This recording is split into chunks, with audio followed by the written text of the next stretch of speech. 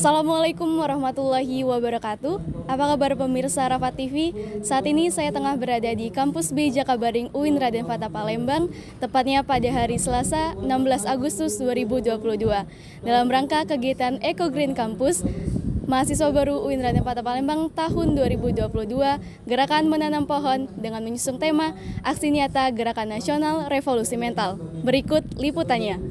Kegiatan Eco Green Campus mahasiswa baru Universitas Islam Negeri Raden Fatah Palembang tahun 2022 gerakan menanam pohon dengan mengusung tema Aksi Nyata Gerakan Nasional Revolusi Mental tepatnya pada 16 Agustus 2022 di Kampus B Jakabaring UIN Raden Fatah Palembang.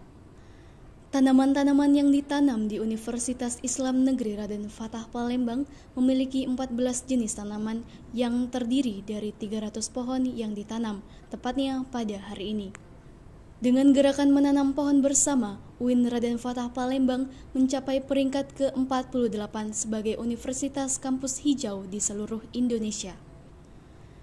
Dengan gerakan menanam pohon bersama, UIN Raden Fatah Palembang mencapai peringkat ke-48 sebagai universitas kampus hijau di seluruh Indonesia.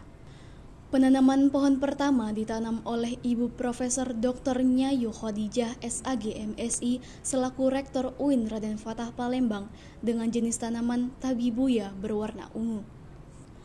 Kepala Cabang Jasara Harja Bengkulu, Bapak Abdul Haris, beliau beranggapan mengenai kegiatan menanam pohon hari ini, yaitu agar seluruh mahasiswa yang berada di lingkungan UIN Raden Fatah Palembang merasa nyaman dengan adanya pohon yang hijau dan tentunya bisa terus dilestarikan serta dijaga dengan baik. Beliau berharap agar UIN Raden Fatah Palembang menjadi kampus hijau sejalan dengan dilaksanakan penanaman pohon hari ini agar siapa pun yang akan ke sini merasa nyaman dengan udara yang sejuk. Rektor UIN Raden Fatah Palembang, Ibu Profesor Dr. Nyayu Khadijah SAG MSI beranggapan positif terhadap kegiatan Eco Green Campus hari ini karena merupakan salah satu misi ke depan UIN Raden Fatah Palembang menjadi kampus yang lebih hijau dan berkelanjutan. Beliau juga mendukung segala kegiatan baik pencapaian di UI Green Metric maupun kerjasama dengan Kementerian PMK dan Forum Rektor Indonesia.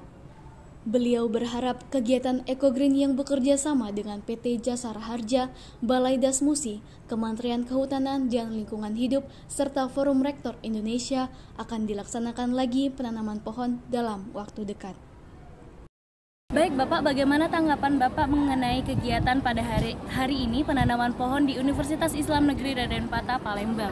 Ya, uh, jadi gerakan Eco Green Campus ini di UIN Raden Fatah ini saya sangat mendukung dari Jasara Harja khususnya uh, terutama bagaimana kita membuat lingkungan ini semakin hijau, semakin nyaman untuk adik-adik nanti akan kuliah akan menjadi semakin indah ya.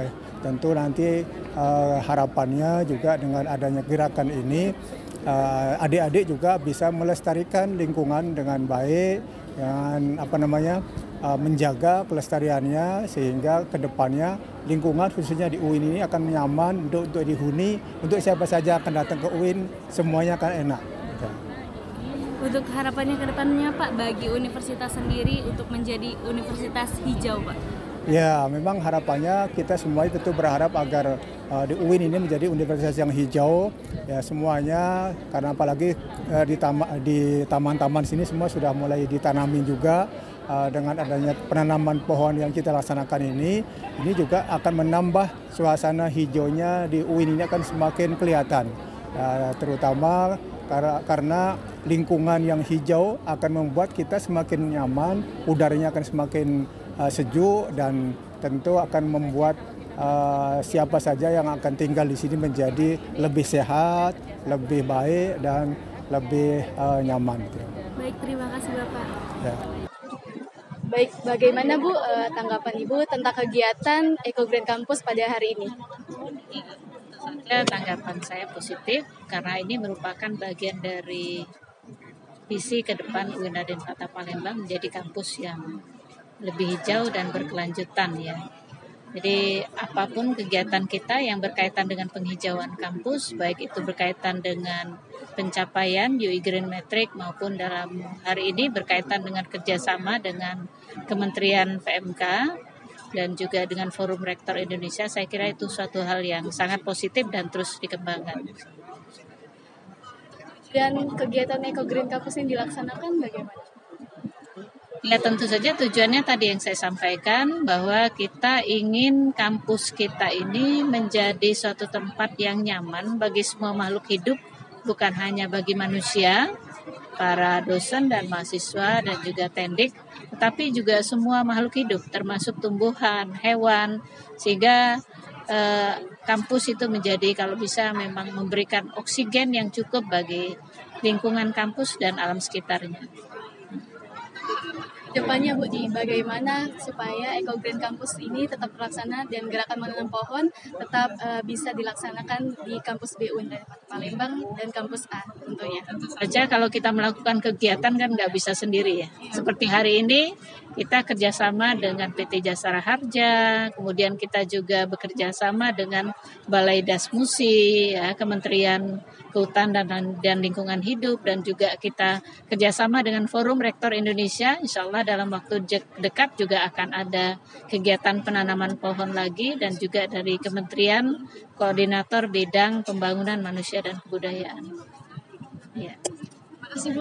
Demikian liputan yang dapat saya sampaikan. Saya Regita, reporter Rafa TV beserta kru yang bertugas melaporkan untuk Rafa TV.